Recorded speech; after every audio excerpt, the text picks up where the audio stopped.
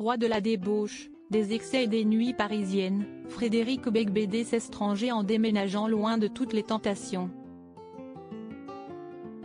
Siesti désormais au Pays Basque, à Guétari, qu'il mène une vie de famille rangée avec sa femme Lara Michli et ses enfants.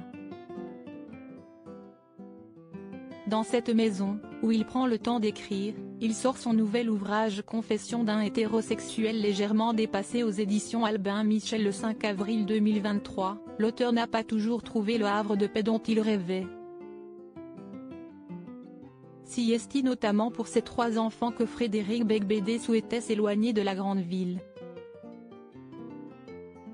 Il a eu son aîné en 1999 avec Delphine Valette puis ses deux derniers, Ona en 2015 et Léonard en 2017 avec son actuelle épouse.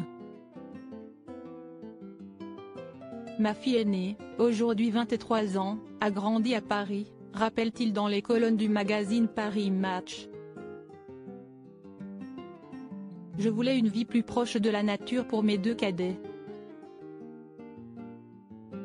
Mais ce refuge n'a pas été si efficace puisque ma maison a été taguée. Je me suis demandé pourquoi tant de haine l'auteur avait effectivement découvert, un matin, les mots violeur et salaud inscrits sur sa façade. Il venait de signer, quelque temps auparavant, la pétition des 343 salauds contre la pénalisation des clients de prostituées. Ils ont enjambé la poussette de mon fils qui avait six mois, se souvient Frédéric Beigbeder. Ma fille de 3 ans m'a interrogé en découvrant les graffitis. Moi aussi je me suis demandé pourquoi tant de haine. Mon livre est né de cette question, pourquoi n'est-on plus capable de débattre? Sa vie n'est plus la même, malgré quelques débordements provisoires? Frédéric Beigbeder, qui a souvent mis en avant sa consommation de stupéfiants, et notamment dans ses écrits, est aujourd'hui un homme différent. Aux addictions plus terre à terre.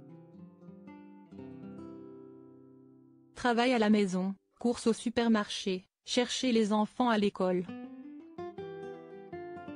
J'adore aussi remplir et vider le lave-vaisselle, admet-il. Si le meilleur des antidépresseurs? Je recommande CIST comme prendre un Xanax.